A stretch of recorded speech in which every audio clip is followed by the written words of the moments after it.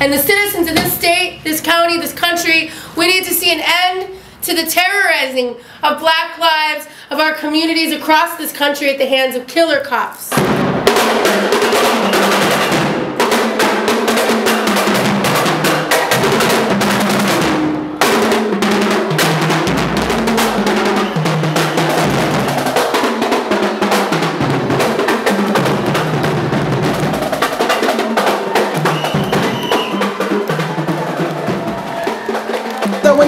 About the institution of policing, we're at a stage where it's time to perhaps throw the current system out the window. Yeah. yeah. And I know that's controversial for some people who've only had to deal with officer friendly, who have a completely different experience with police officers than many people of color, poor people, homeless people, people with disabilities, people who are part of the LGBT community, who are treated in a manner that demeans them and denies their, their human dignity. We're saying enough is enough. I'm tired of the bloodshed. I'm tired of people feeling unsafe in their own community.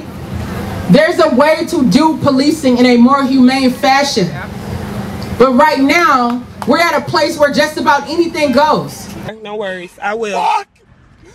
He just shot his arm off. We got pulled over on Larpenteur. Told him not to reach for it. I told him to get his hand out. He had you told him to get his ID, sir, and his driver's license. Oh my God! Please don't tell me he's dead. Please don't tell me my boyfriend just went like that. I saw my nephew shot by a man clinging to his life, you know, with, with no help. It, it, was the most horrific thing I ever seen in my life. Yeah. We hear about things like this happening all the time around the United States and the world, you know, people being harmed and abused by people that we're supposed to trust with our lives, people that are supposed to Protect serve and and serve. protect us. And they, they tend to be our executioners and judges and murderers. I basically think that these things are happening because there is no checks and balances in the justice system, and that a lot of our African American men, women, and children are being executed by the police, and there are no consequences. So, in essence, I feel like it's becoming more and more repetitive. Every day you hear of another black person being shot down, gunned down by the people that are supposed to protect us. My son was a law abiding citizen and he did nothing wrong. He had a permit to carry. But in, all, with all of that, trying to do the right things and live accordingly by the law, he was killed by the law. and it's devastating to us all. I'm outraged.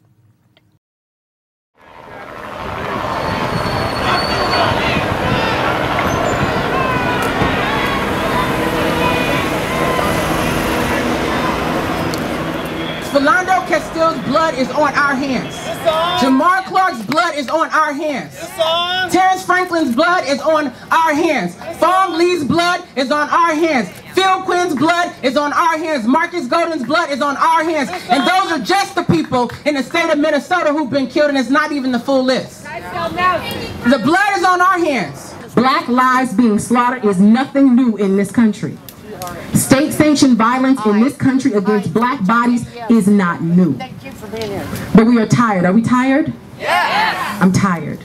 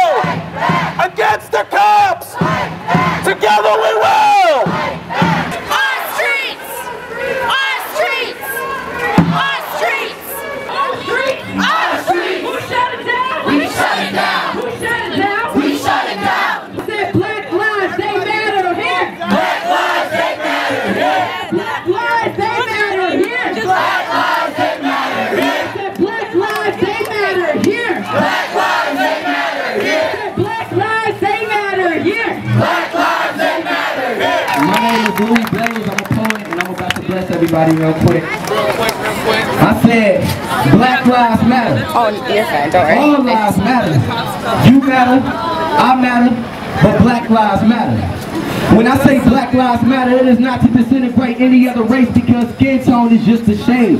Different colors, but all the color. You see, black and brown people for some reason have been treated differently. We can take it back to the 17th century when we are being shipped overseas. See, tell me you won't try to take a stand. I'm not racist. I'll shake a hand and make a friend. I understand that we both are women and men, but Black Lives Matter again. Why? They just shot another brother again. It put me in complete attack mode, ready to attack those ones who pretend we don't matter. When our lives do matter, but see, I'd rather live together in peace than fall apart from hate. With a raised fist and a picket sign, easily recognized with 10,000 behind me. All agreeing to the fact that our lives are black and we matter. You matter, I matter, all lives matter, but black lives matter. If we don't get it, shut it down! If we don't get it, shut it down! If we don't get it, shut it down! If we don't get it, shut it down! If we don't get it, shut it down! If we don't get it, shut it down! And that's why we're here, because John Choi, we don't trust you to do the right thing. Mm. John Choi, we're here because we need you to do the right thing. John Choi, we're here for you because it's time to have justice for Philando Castile. I wanted to remember the names of some of the people that John Choi hoped we would forget. We're not going to forget Philando Castile. We're not going to forget Marcus Golden. We're not going to forget Philip Quinn or Geno Smith or Victor Gatti, Joseph Garcia, Wayne Malone, Rosa Sakina, or Chua Zhang. These are some of the people who died at the hands of police in this county, and this prosecutor wouldn't take a stand. The fact is, he's like prosecutors across the country. He's like Mike Freeman over in Minneapolis, who's trying to assist in the cover-up of mur the murder of Jamar Clark. We reject the idea that our prosecutors, the county prosecutors, should play the part of defense attorneys. He works with the system as it is. Mm. And we're about changing that system. We're about ending the system of a system that gives impunity to police for killing us.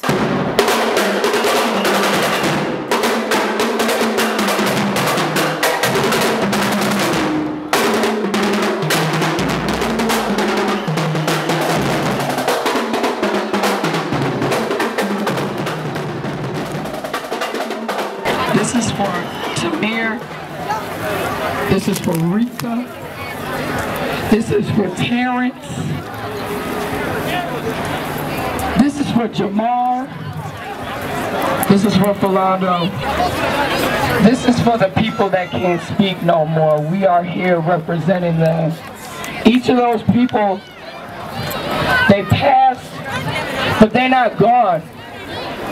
They all live in our hearts. They all know. They all watching us.